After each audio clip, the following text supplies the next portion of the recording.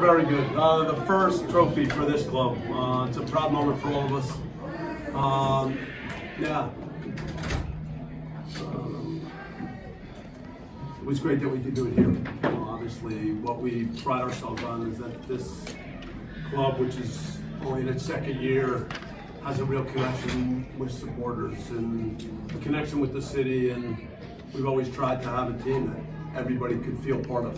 And uh, to win the first trophy here, especially that it's the supporter shield, because we feel so strongly about our supporters.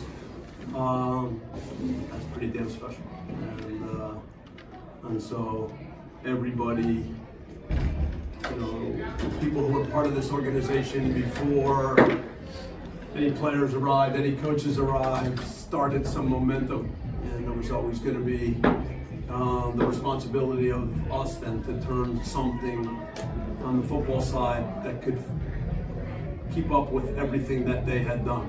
And, uh, you know, we, we had an idea of playing a certain style and trying to have players that our, our fans could really identify with.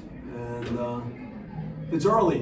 We've got a lot of work to do. Uh, I talk about football after every game, and I see all the things that I still know can get better and better and better.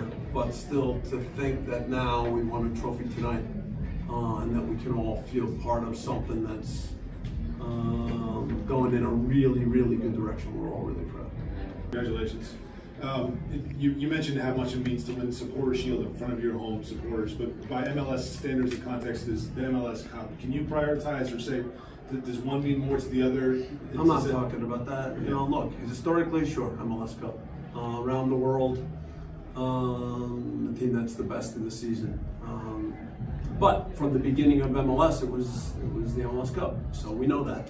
Um, but that doesn't take away from uh, how we feel tonight that we we were able to uh, uh, win the first trophy in, in, the club's history and do it here uh, at the Banc in front of our supporters.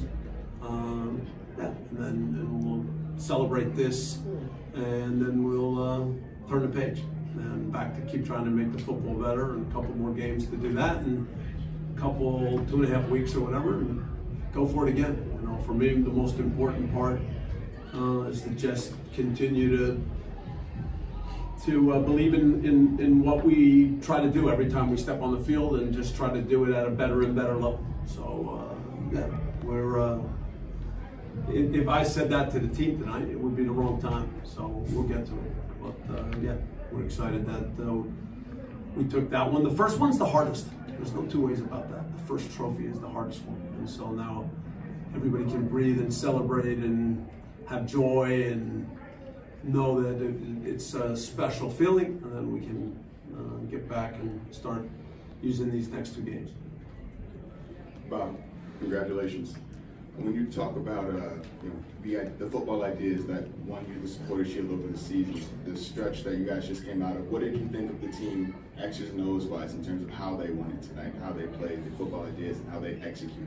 Our ideas are there all the time, but obviously, you know, I remind all of you that um, making the right pass, getting the timing right, reacting the right way, um, finding ways when you lose the ball to win it back quickly. Those are not givens. Those are things you work on all the time. Those are, you know, the, those are the little details. And, and uh, we never get ahead of ourselves because we still have perspective of what the best teams look like. And so um, the challenge that, that I present every day with these guys is, is is how can we make them better players? How can we make a better team? And how can we just keep building on that? Uh, but I didn't say a word after the game tonight um, because they they deserve to uh, all be together and just uh, enjoy that moment. Um, you know, Carlos Carlos never been a captain on a team that won something. That now in front of all his fans gets handed the supporter shield and can now hold it up for everybody. And so with everything he's done in his career, man, that's special. And so. Um, Tonight is about that. Tonight is about uh, everybody knowing that the uh, you know the challenges that go on every day and this idea of how we can play better football Um, tonight, it, it, it's uh, it, it's the joy of, of winning something, and, uh, and then we'll just keep going with the rest. Uh, congratulations. Uh, the way the game was going, it kind of seemed like in the first half, you know, you guys were pushing for that first goal. You wanted to get an early goal. Halftime, it seemed a little poetic that you guys were kind of challenged and trying to get back out there and get the lead again. Is there something particular that you said to the team perhaps before and at halftime that kind of changed your strategy, or is it just the same plan to go out there and win and get the, you know get the sports? Yeah, we didn't change our strategy. We had to sharpen up certain things. Uh, there's still moments where we're anxious, and that's nothing new. Trying the hardest pass at the wrong time. Um, in the first half, when we had moments to really react fast and, and win the ball back, I didn't think we always had everybody on board. And you can't counter press with a couple of guys. You need to get the right numbers and get everybody involved. So, you know, I reminded them that um, we could raise the level. And, you know, I think as the second half went on, we did that. So, yeah, that was good. Uh, what was going through your head during the celebration afterward? Um, you know, I, I um, as much as I talk about football, right, as much as I, I see little details and things that, that for me are so important, um, I also know the human part. I know the part when there's a group and everybody uh, is part of something that's bigger than any one of them. And, and to see all of those guys um, celebrate together uh, and, and to know how much it means to all the supporters that are that have been there from day one and, and just from the first minute to the last minute of every match. So that part, uh, that part's special, and uh, I was just uh, excited to see uh, how happy the players were and what that meant to all of them and what it meant to the supporters. Hello, Bob. Um, congratulations. Thanks.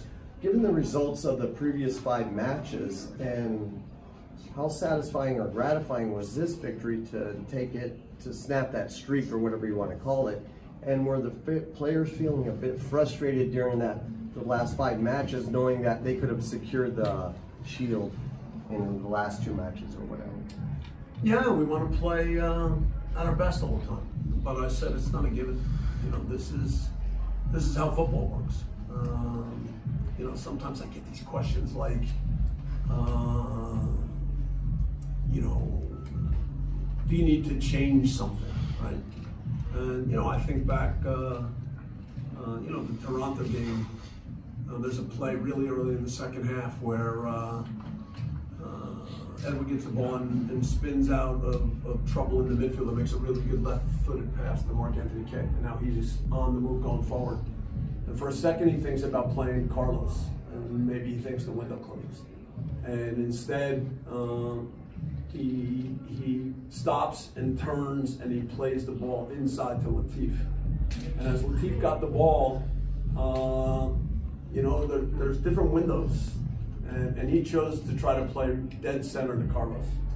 And in the moment, uh, their left back was tucked in pretty far. And Brian was sprinting. And, and so, you know, when you guys say, like, what happened tonight? What happens sometimes is that now Latif, maybe in that moment, uh, thought he could slip it to Carlos when the better one would have been to go right across the, the outside back. And so those are details. Those are those are things that you try to work on every day so that players can make as many good plays as possible every game. Uh, and, and, when we're not at our best, we know it.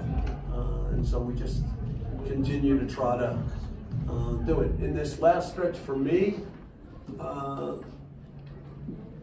you know, the, the, the, part of trying to get every play right and the part of challenging the football ideas, uh, that's got to go to hand in hand with the part of uh, getting everybody excited about something and get everybody uh, knowing how special it is to, to, have a chance to win something. So uh, I've taken the bar, um, you know, more in the direction of making sure everybody knew that seasons like this don't happen all the time. And so when you get to the end, enjoy every second and let's go for it and let's be brave. So yeah, I mean, as much as we lost some games, so what? You know, that's not not some games. We lost one.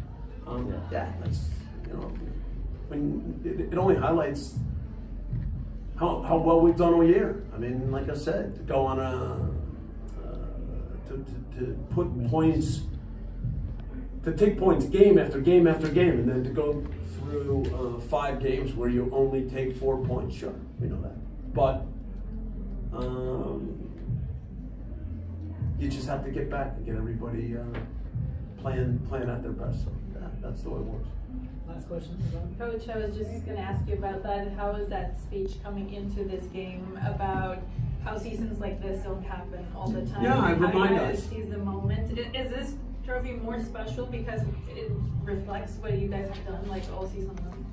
Sure. I mean, this trophy's special because we're the second year into uh, this this club and this team, and, and we said from the beginning we want to we want to try to push forward, create chances, score goals, um, be fun to watch, and and you know those, those things sound good, but you've got to stay on a lot of things uh, in order to make that happen all the time. And, uh, what happens when maybe a result or two doesn't go your way, then you've got to make sure that guys um, don't start looking for answers um that don't fit. You know, you got to remind them that if we've given up a goal lately, uh, we don't need to change the way we defend. Uh, we've given up, what is it now, 35 goals a year. I think that's the least number in the league. So if you make a mistake, and some of these guys are looking at you and they want to know, yeah, but in this situation, do you want me to do this or this? Right? We- We've not talked that way ever. We talk about making decisions and reacting and how sometimes you got to do two things at once. And and so when something goes wrong and all of a sudden they are looking for answers that you haven't given them in two years, you have to say, listen, that's not how we play, and we wouldn't be where we are if that's the way we had gone about it. So it's just reminders, and then, like I said before, it's it's most of all to make sure everybody embraces the moment. Because, yeah, look, everybody wants to play, everybody wants to play well, um, but to be part of a team that accomplishes something, it doesn't happen all the time. And when you have coached for a long time, you know that. Uh, look, for some guys, maybe that's the only, maybe that's the first trophy they ever won. Who knows? Maybe for some it'll be the last.